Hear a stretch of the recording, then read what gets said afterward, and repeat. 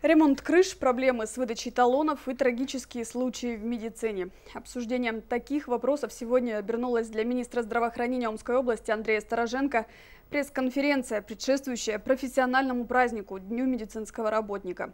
Какими оказались ответы главы ведомства, знает Светлана Урванцева.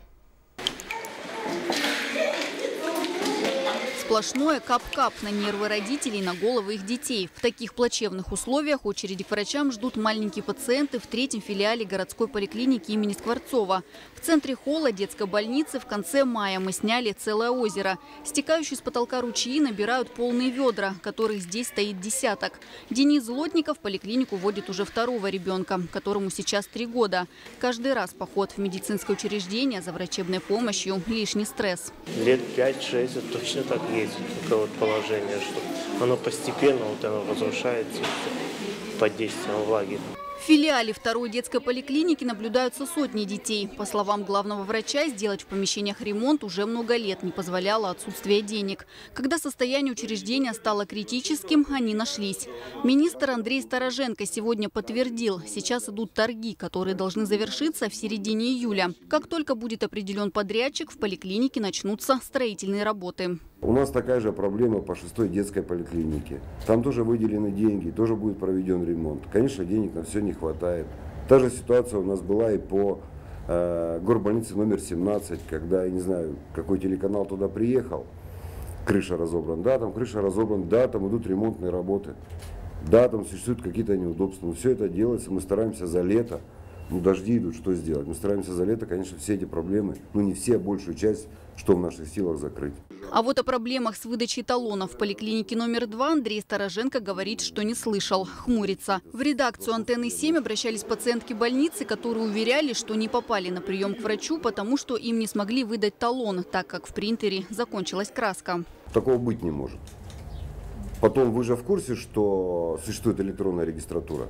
Электронная регистратура – вещь удобная и понятная для молодых. А вот бабушки все равно смогут записаться, только придя в регистратуру. К тому же пытаемся после пресс-конференции взять талон через компьютер. В ту же самую поликлинику номер два, допустим, к терапевту на завтра с часу до двух в обед.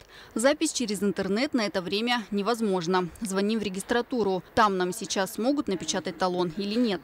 Все печатает у нас не печатало это вообще в начале года где-то. Один день всего. Хотя еще в начале июня сотрудники регистратуры говорили, что проблемы с печатью талонов были совсем недавно. У нас картридж один были, вот, и все. Нечем было печатать. Сколько хватало краски, столько печатали. Не печатает э, компьютер, а какой смысл? Говорить что-то или давать что-то или печатать. А если от руки написать? От руки мы не пишем. То есть не выдача талонов из-за отсутствия краски все же быть может. Много жестикулировать и перебивать Андрея Стороженко заставляют и следующие вопросы. Что касается Арины Остроушка и вот смертей во втором роддоме, а, вот все-таки, когда были проверки, почему-то э, со стороны Минздрава четко было, во всем виноваты пациенты, врачи ни в чем не виноваты. Вот прямо а четко, сторонние... секунду, прямо четко было со Да. Министр отвечает на вопрос по поводу смерти от менингита трехлетней Арины Остроушка. Больница готова заплатить деньги. Мы дали команду суды не продолжать. Точка. Закрыли тему. Вот просто закрыли тему. После этого снова был подан иск на суд об увеличении количества денег. Чтобы сразу не было никаких вопросов. Об увеличении количества денег, которые нужно взять из больницы за данную ситуацию. Был еще один суд, где в этой просьбе было отказано. Были на конференции вопросы о нехватке в Омске больниц. Только на левом берегу их появится три. По программе государственно-частного партнерства лечебное учреждение будет и в микрорайоне Рябиновка, где этого открытия очень ждут. Светлана Урванцева, Артем Колесников, Даниил Паршин, Александр Филиппов. Антенна 7.